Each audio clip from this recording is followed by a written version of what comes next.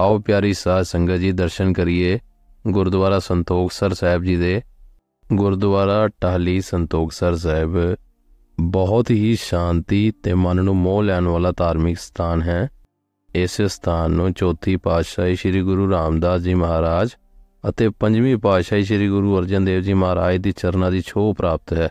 ਇਤਿਹਾਸ ਅਨੁਸਾਰ ਸ੍ਰੀ ਗੁਰੂ ਰਾਮਦਾਸ ਜੀ ਨੇ ਗੋਇੰਦਵਾਲ ਸਾਹਿਬ ਤੋਂ ਆ ਕੇ ਪਹਿਲੇ ਅੰਮ੍ਰਿਤ ਸਰੋਵਰ ਦੀ ਖੁਦਾਈ ਦਾ ਕੰਮ ਆਰੰਭ ਕੀਤਾ ਇਸ ਤਰ੍ਹਾਂ ਇਸ ਸਰੋਵਰ ਨੂੰ ਗੁਰੂ ਇਤਿਹਾਸ ਵਿੱਚ ਪਹਿਲਾ ਸਰੋਵਰ ਹੋਣ ਦਾ ਮਾਣ ਹਾਸਲ ਹੈ।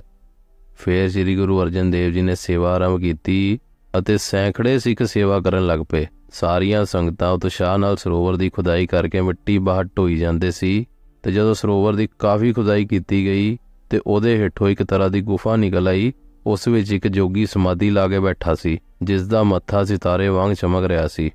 ਜਦ ਜੋਗੀ ਨੇ ਨੇਤਰ ਖੋਲ ਕੇ ਸ੍ਰੀ ਗੁਰੂ ਅਰਜਨ ਦੇਵ ਜੀ ਮਹਾਰਾਜ ਜੀ ਦੇ ਦਰਸ਼ਨ ਕੀਤੇ, ਤਾਂ ਜੋਗੀ ਨੇ ਗੁਰੂ ਜੀ ਦੇ ਚਰਨਾਂ ਤੇ ਸਿਰ ਰੱਖ ਦਿੱਤਾ ਤੇ ਉਹਨੇ ਬੜੇ ਪਿਆਰ ਨਾਲ ਭਾਈ ਜੇਠਾ ਜੀ ਨੂੰ ਕਿਹਾ ਕਿ ਉਹ ਆਪਣੇ ਗੁਰੂ ਤੋਂ ਮੁਕਤੀ ਲੈਣ ਦੀ ਉਡੀਕ ਕਰ ਰਿਹਾ ਹੈ।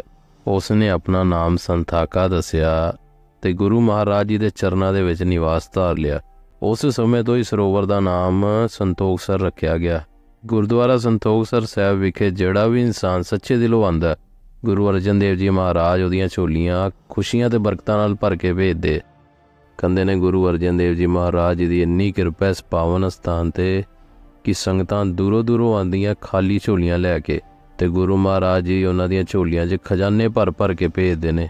ਗੁਰੂ ਰਾਮਦਾਸ ਜੀ ਮਹਾਰਾਜ ਤੇ ਗੁਰੂ ਅਰਜਨ ਦੇਵ ਜੀ ਮਹਾਰਾਜ ਅੱਜ ਵੀ ਇਸੇ ਸਥਾਨ ਤੇ ਨਿਵਾਸ ਕਰਦੇ ਨੇ ਤੇ ਜਿਹੜਾ ਵੀ ਇਨਸਾਨ ਸੱਚੇ ਦਿਲੋਂ ਆ ਕੇ ਅਰਦਾਸ ਕਰਦਾ, ਉਹਦੀ ਅਰਦਾਸ ਕਦੇ ਵੀ ਖਾਲੀ ਨਹੀਂ ਜਾਂਦੀ। ਉਹ ਮੂੰਹ ਮੰਗੀਆਂ ਮੁਰਾਦਾਂ ਹੀ ਲੈ ਕੇ ਜਾਂਦਾ ਵਾਹਿਗੁਰੂ ਜੀ ਕਾ ਖਾਲਸਾ, ਵਾਹਿਗੁਰੂ ਜੀ ਕੀ ਫਤਿਹ।